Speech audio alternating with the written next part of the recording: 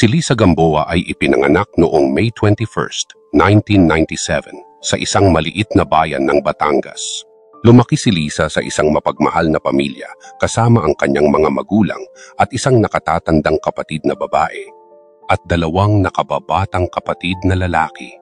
Mahilig siya sa gymnastics at palagi siyang pumupunta sa malapit na sports center para mag-ensayo.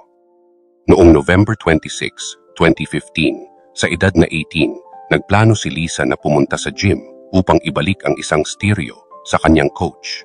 Bandang 5.15pm, nagpaalam siya sa kanyang mga magulang at sinabing babalik siya pagkatapos ng isang oras. Subalit, nang mag-alas 7 ng gabi, hindi pa rin siya nakakabalik kaya nagsimula ng mag-alala ang kanyang mga magulang. Sinubukan siyang tawagan ng kanyang ina ngunit hindi na siya makontak. Agad silang nakipag-ugnayan sa pulisya. Pero bago tayo magpatuloy, pwedeng makahingi ng like at subscribe para sa aking YouTube channel at kung gusto nyo ng mga ganitong video. Ang kaso ay napunta sa isang mas malaking lungsod na ilang milya ang lahyo, kung saan isang bihasang investigador na si Letty ang na-assign upang imbestigahan ang pagkawala ni Lisa. Agad siyang nagpadala ng mga opisyal sa bayan para simulan ang paghahanap pati na rin ang pagtawag sa military police. Ayon sa coach ni Lisa, Dumaan siya sa gym bandang 5.30pm. Huli siyang nakita ng mga kaibigan niya na umalis ng gym at pauwi na. Natuklasan ng mga investigador na bandang 6.44pm ay nagpadala si Lisa ng text sa isang kaibigan na siyang huling pakikipag-ugnayan niya. Ang hinala ay maaaring nawala siya habang pauwi mula sa sports center. Sa paghahanap, may mga taong nagsabing nakita nila si Lisa na may kasamang dalawang lalaki malapit sa isang pulang sasakyan. Ngunit hindi ito nakumpirma ng pulisya. Kahit na tumulong na ang mga volunteer at military police, hindi pa rin nila natagpuan si Lisa.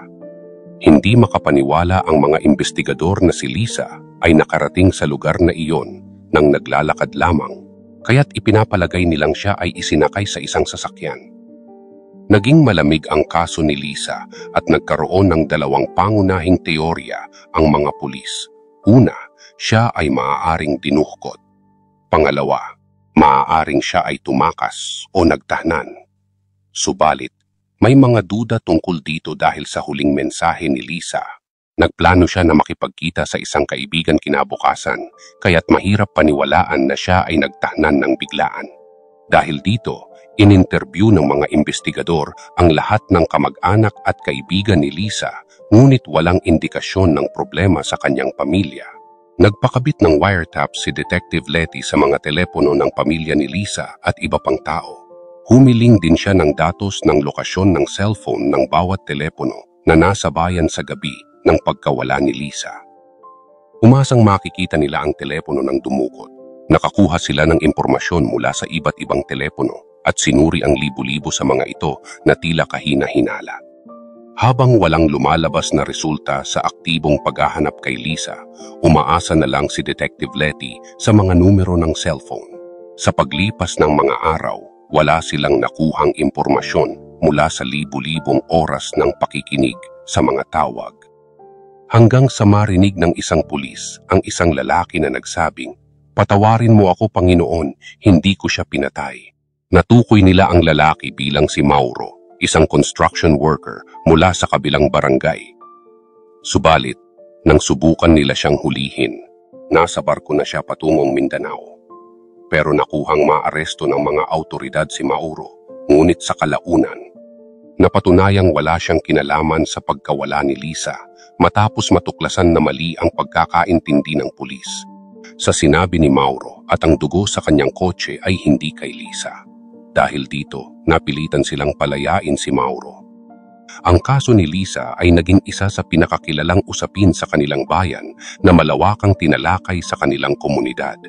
Ilang mga tao ang sumusubaybay sa paghahanap, umaasang makikita pa siyang buhay.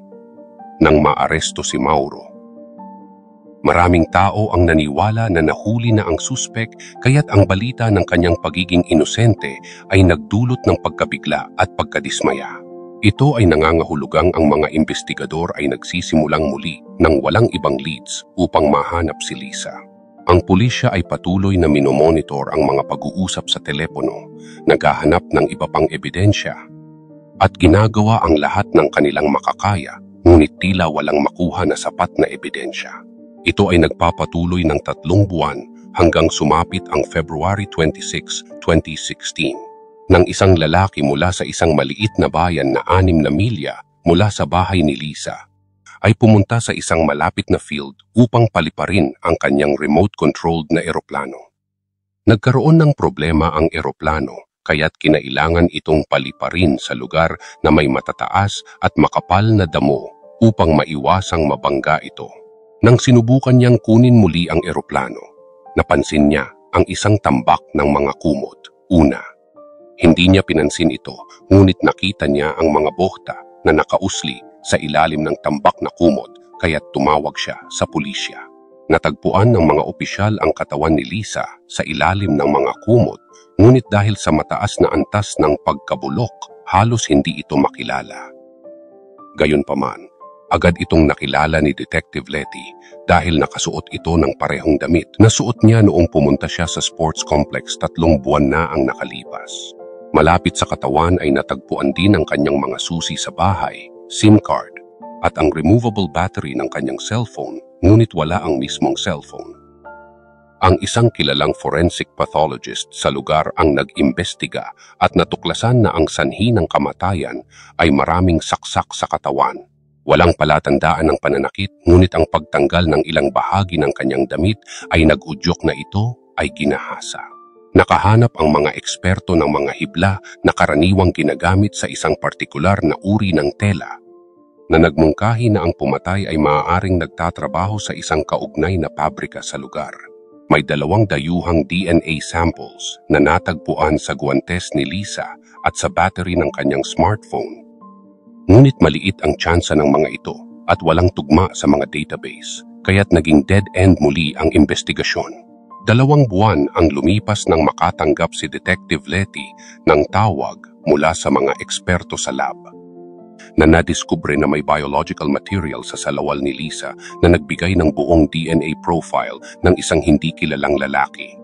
Hinati ni Detective Letty ang mga pulisya sa iba't ibang teams upang mangolekta ng DNA mula sa mga kamag-anak, kakilala, at lahat ng nasa sports complex pati na rin ang pagsusuri ng cellphone location data at pagbuo ng listahan ng mga taong naglakbay mula sa bayan ni Lisa nung gabing iyon. Nakalikom ang pulisya ng iba't ibang DNA samples ngunit walang tumugma sa profile ng suspect. Samantala, patuloy na nag-iisip si Detective Letty ng bagong leads at nagkaroon siya ng ideya malapit sa field kung saan natagpuan ang katawan ni Lisa. Sa isang kaso ng pagpatay, si Detective Letty ay isang magaling na investigador. Ay nagtungo sa isang nightclub na kilala sa mga taong may kriminal na record upang maghanap ng posibleng lead. Naniniwala siyang ang mga kriminal ay madalas nag-iiwan ng mga biktima sa mga pamilyar na lugar. Upang masubukan ang kanyang teorya, nag-utos siya sa mga pulis na kolektahin ang DNA samples ng mga pumapasok sa club tuwing biyernes at sabado dahil lahat ng club goers ay may membership cards. Sa pamamagitan nito, maaaring ma-access ng mga investigador ang impormasyon ng lahat ng mga nakapasok sa club sa nakaraang araw. Bagamat maliit ang tsansa, sinubukan pa rin ito ni Detective Letty dahil wala na silang ibang lead. Hindi nagtagal, nakatanggap siya ng tawag mula sa lab na nagsasabing ang DNA ng isa sa mga bisita ay tumugma sa profile ng suspect. Ang pangalan ng lalaki ay Darren. Ngunit agad siyang na-clear bilang suspect dahil nasa ibang lugar siya noong nawala si Lisa. Bagamat bahagi lamang na nagbigay ng panibagong direksyon sa investigasyon, ipinapalagay ng mga eksperto na si Darren ay posibleng kamag-anak niya ang tunay na kriminal. Sinimulan ni Detective Letty at ng kanyang team na imbestigahan ang pamilya ni Darren upang mahanap ang posibleng suspect. Nahirapan sila dahil bago pa lamang ang ganitong uri ng investigasyon. Ngunit natuklasan nila na ang ina ni Darren ay dating kasambahay ng pamilya ni Lisa. Naging mas komplikado ang investigasyon, ngunit hindi natagpuan sa mga malalapit na kamag-anak ni Darren ang suspect. Nagpatuloy ang investigasyon sa kabila ng mga batikos mula sa bayan at mga politiko. Sa kabila ng maraming buwan ng walang progreso, noong September taong 2016, natuklasan ng mga investigador na si JP na namatay na ay posibleng ama o lolo ng suspek. Ngunit nang suriin ang DNA ng kanyang mga anak, wala sa kanila ang tumugma bilang suspek. Dahil dito, Napag-isip-isip nila na maaaring may anak si JP sa ibang babae na hindi alam ng kanyang pamilya. Tumutok ang mga investigador sa lead na ito, ngunit napakahirap tuklasin ang ganitong sensitibong impormasyon. Sa paglipas ng halos isang taon ng pagsisiyasat, natuklasan ng mga investigador ang isang mahalagang clue tungkol kay JP, isang lalaki na regular na bumibisita sa isang spa complex malapit sa bayan ng Batangas tuwing May mula noong 1960 ngunit laging mag-isa. Dahil dito, humiling si Detective Letty, ang punong investigador, ng mga record ng mga bisita sa spa upang masuri kung sino ang posibleng karelasyon ni JP. Bagamat tumagal ng isang taon ang proseso, hindi pa rin nakilala ni Detective Letty ang posibleng kalaguyo ni JP. Samantala, Nalaman ng komunidad ang investigasyon at nagkaroon ng malaking interes sa bayan tungkol sa posibleng anak sa labas ni JP. Dahil dito, maraming mga kwento ng mga anak mula sa extramarital affairs ang natuklasan. Noong 2020, nakatanggap ng tip ang pulisya na nagsasabing si JP ay maaaring nagkaroon ng relasyon kay Esther sa pagkukumpara sa mga DNA sample Natuklasan nila na nagkamali ang unang eksperto at naikumpara ang DNA ng salarin sa biktimang si Lisa imbes kay Esther. Nang ulitin ang pagsusuri, natuklasan na si Esther nga ang ina ng salarin. May tatlong anak si Esther, kabilang ang kambal na lalaki at babae na akma sa edad ng salarin. Nakatuon ang investigasyon sa anak na lalaki, si Mario, na isang construction worker at naninirahan sa kabilang bayan kung saan huling na-trace ang signal ng cellphone ni Lisa. Gumawa ng plano si Detective Letty upang makuha ang DNA ni Mario sa pamamagitan ng isang sobriety checkpoint. Nang makuha ang kanyang laway mula sa breathalyzer, nagmatch ito sa DNA na nakuha sa damit ni Lisa. Gayunpaman, Inaresto si Mario noong June 16 at dinala sa paglilitis kung saan natuklasan ang mga nakakabahalang ebidensya sa kanyang browser history. Ang cellphone ni Mario ay natagpuan sa bayan ni Lisa noong gabi ng kanyang pagkawala ngunit ini-off ito ng 5.45pm at muling binuksan kinabukasan. Ang sasakyan ni Mario ay nakita sa surveillance footage malapit sa sports center bago mawala si Lisa. Ang sasakyan ay walang plaka, kaya't mahirap itong kilalanin. Nang maaresto si Mario, nakumpirma na ang sasakyan ay kanya at ang mga hibla mula sa upuan ng kanyang kotse ay tumugma sa mga hiblang natagpuan sa katawan ng biktima.